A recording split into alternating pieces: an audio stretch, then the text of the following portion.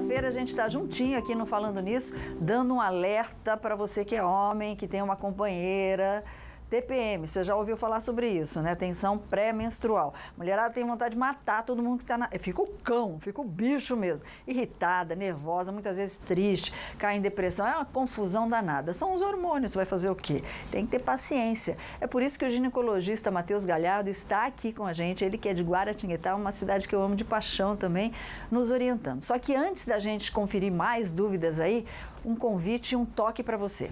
O Falando Nisso vai receber pela primeira vez na região o Procurador da República e também coordenador da Lava Jato, Deltan Dallagnol, falando diretamente com você. Você vai poder conversar com ele.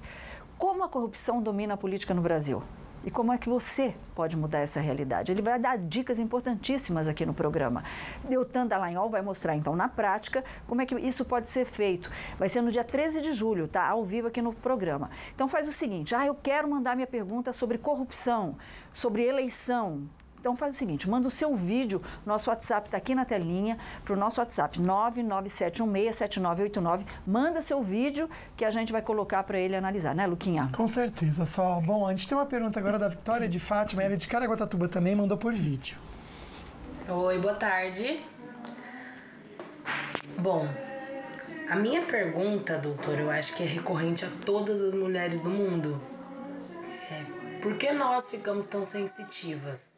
Nos dias de TPM. Eu, particularmente, mudo meu humor completamente. Essa é a minha dúvida. Obrigada e boa tarde mais uma vez.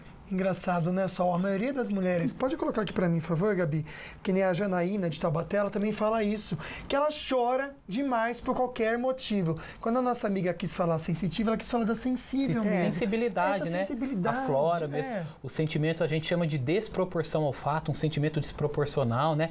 Chora por qualquer coisa, pode ficar feliz por qualquer coisa, pode comer mais, ela pode ficar reclusa, né? Enfim, isso aí, Lucas, é muito controverso. A Uhum. gente tem estudos já de mais de 60 anos, a gente não tem uma causa para isso, mas tem muito a ver tanto com o equilíbrio hormonal quanto com a parte, né, dos neurotransmissores que dão esse equilíbrio. Tem pacientes que têm sintomas leves, né, mas muitas podem ter até o sintoma grave. Muitas não, 10% só, que seria o transtorno disfórico. Voltando a Sol, foi o que ela disse lá da mulher lá dos Estados Unidos que teve lá a sua pena abrandada ou teve até absolvição, né? Ela poderia ter um, um transtorno psíquico, uma doença até mental que levou ela até aquele ato lá. Perfeito. Então é explicado de uma maneira que a pessoa possa entender, na verdade, né, Sol, que isso acontece, mas você consegue cuidar de alguma Eu forma, acho que tem né? que respeitar o momento da paciente, o companheiro, né, o esposo ali, ajudá-la, né? Leva para passear, leva no cinema, sai para bicicleta, diminui a situação estressante da paciente e vai procurar, logicamente, o ginecologista o apoio. Perfeito.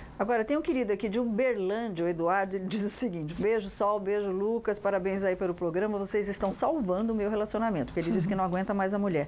Ele pergunta se um acompanhamento psicológico ajuda. Sim.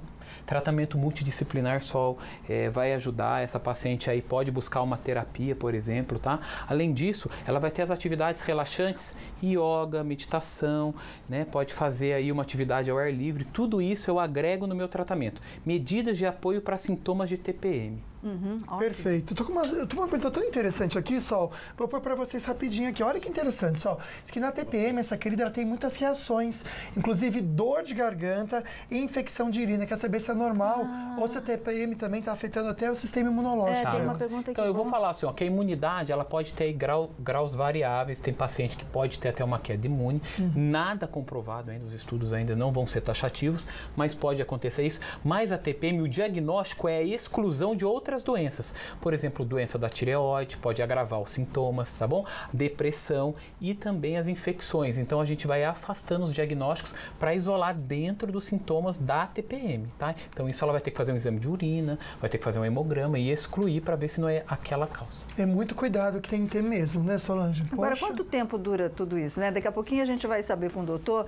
Então, achei ótimo. Um beijo para você, Paulo Roberto, que é a cidade de Sorocaba. Ele diz o seguinte: Sol, eu tenho uma saída fantástica para a TPM da minha mulher que funciona como tudo. Por favor, divulgue. Estou divulgando, então. Faça pequenos presentes ou pequenos agrados. Prepare um jantar romântico. Ofereça uma caixa de chocolate meio amargo para ela. E o mais importante, dê o cartão de crédito. Mas eu acho que o mais importante é assim: se você fizer o jantar, você lava a louça. Senão É, não vai dar em nada. Vai dar em nada. Não é verdade? E tem uma receita aqui que depois eu vou perguntar se funciona ou não. Estão falando de óleo de alfazema como um difusor aí para deixar o ambiente mais tranquilo. E estão falando também de suco de maracujá com camomila, se isso ajuda também. A gente vai saber se essas receitinhas caseiras ajudam. Agora, Luquinha, a gente vai pular da TPM para sorriso, da raiva para o sorriso, né? E o que é muito bom, aliás, a gente quer às vezes mudar o sorriso, ficar com o dente bem branquinho, lindo, com cara de artista de televisão, mas para isso a gente precisa contar com profissionais sérios, capacitados e claro que a gente fala aqui com muito carinho da Ortovip. São mais de 16 anos aqui na nossa região, é uma clínica completa com profissionais que cuidam de qualquer tipo de problema. Quer ver como tem gente muito feliz com a Ortovip? Vim de Brasília, né, para fazer esse- esses implantes, é, devido a uma amiga minha que já tinha feito aqui, né, com o doutor Otávio. Eu achei muito bonito, ela ficou com os dentes muito bonitos e aí eu me animei, que eu era muito desanimada, né, de, de fazer isso. Eu tinha assim, não sabia como é que era, né? Porque meu filho disse: Mãe, você com essa idade, para que você quer botar dente fixo? Eu digo: Ué, o que, que tem a idade com isso, meu filho? Não, é isso mesmo, eu quero. Eu tenho saúde, graças a Deus, e né? Eu canto, eu tenho que me sentir livre com esse negócio de estar botando pozinho no dente para segurar. E, então, quer dizer, fiquei feliz da vida. Estou de dente novo, agora eu posso abrir minha boca e cantar, dar meus agudos. E o tratamento da Ortovip é maravilhoso, não tenho que reclamar em nada. Pessoal do Otávio, começando por ele, os, os, os assistentes, o corpo clínico maravilhoso. Maravilhoso, só tem que elogiar. Todos os contatos você encontra então no site ortovip.com.br para você ficar muito feliz e sorrir muito também. Isso é tão importante. Bom, a pessoa morreu e três ficaram feridas depois que um carro desgovernado invadiu uma calçada em Sochi, uma das cidades aí sede da Olha Copa da isso. Rússia.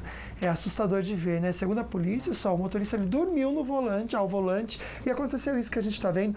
Imagina só as pessoas andando, aí tá a rua depois como que ficou. Olha que absurdo, Solange. Foi realmente aí um grande susto, uma fatalidade que a gente lamenta. Tem a imagem novamente? Vamos ver. Olha, o É. carro vem saindo lá de trás. Ele dormiu realmente. Uma E. Ele foi. dormiu. E ninguém ouviu nada na Nada. hora, né? Muito E rápido. pegou em cheio. Muito rápido, não Teve um tem. acidente no Rio parecido com É, É, é, só que o cara lá não estava dormindo, não. Lá foi outro probleminha, né? Aqui é. a- as câmeras de, de segurança, convulsão. né, fecharam realmente e viram que ele dormiu. Ele dormiu, ele apagou. Muito triste, Cansado. Solange. É. Bom, no próximo bloco a gente conversa com você sobre esse torcedor misterioso russo que viralizou na internet, Quem na é web. ele? A gente- Já, já comenta Gente, com parece o você também. chamado. Sabe aquele filme É o Chamado? Nós fizemos tanto Né? meme dele, Solange, e a gente comenta já com vocês também. Mas é um momento bom receber carinho, ainda mais quando é pessoas especiais que tocam o nosso coração.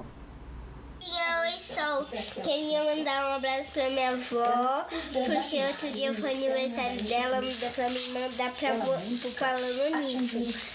Eu, vou, é, eu quero dar os parabéns pra ela. fora da instituição. E só. de alguns meios para isso. Tchau! Ela é quem comanda, tem carta na manga dos passinhos, ela manja.